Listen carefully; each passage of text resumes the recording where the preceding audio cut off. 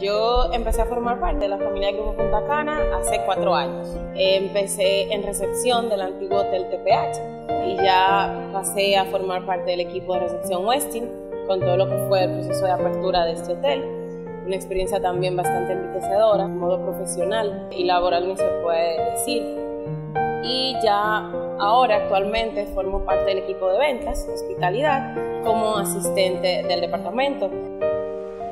Una de las características principales del Grupo Punta Cana es su responsabilidad social y ambiental, algo que realmente considero primordial para conservar el mundo en el que vivimos, el cual se está deteriorando poquito a poco. Un granito de arena que cada quien ponga para ayudarlo a sostenerse es de bastante ayuda.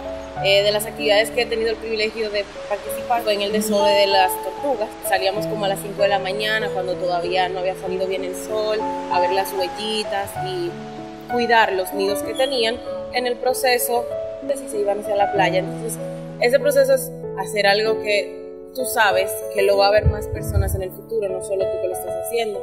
Y de igual modo, el, el reciclaje. Lo que es plástico es plástico y todo aquí se usa. O sea, aquí en Grupo Punta Cana no hay basura, porque todo, absolutamente todo se vuelve usar.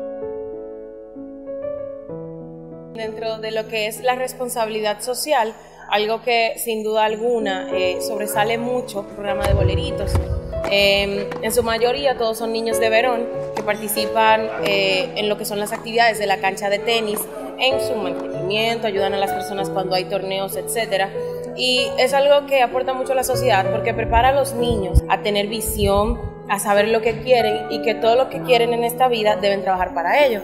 Se le dieron becas eh, para sus estudios y luego de culminados los mismos formaron parte de la empresa. Entonces es todo un mundo de oportunidades.